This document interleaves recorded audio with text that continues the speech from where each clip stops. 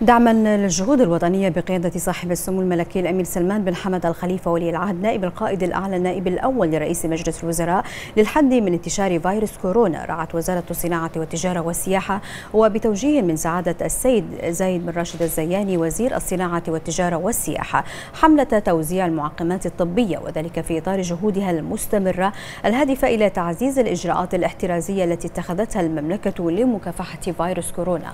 وفي هذا الشأن صرح الوكيل المساعد للرقابة والموارد السيد عبد العزيز الأشراف بأن إدارة التفتيش وفي إطار الرقابة التي تمارسها على الأسواق والمحال التجارية تقوم أيضا بممارسة دور توعوي للمساهمة في تعزيز تطبيق الإجراءات الاحترازية كالتباعد الاجتماعي حيث قامت الوزارة برعاية حملة توزيع المعقمات الطبية بالتعاون مع شركة ضمان للمطهرات الطبية. وتهدف هذه الحملة إلى دعم الجهود الوقائية لمنع انتشار الفيروس وأضاف الأشراف بأن الحملة التي نفذها مفتشو إدارة التفتيش كانت بمعية المتطوعين وتابع الأشراف بأنه تم تنويع مواقع التوزيع والتوعية إذ جرى بعضها للمرة عند مداخل المدن والقرى وفي الشوارع التجارية والفرعية كما شملت العاملين في المواقع الإنشائية والبحارة والصيادين وكذلك مرتدي المجمعات التجارية.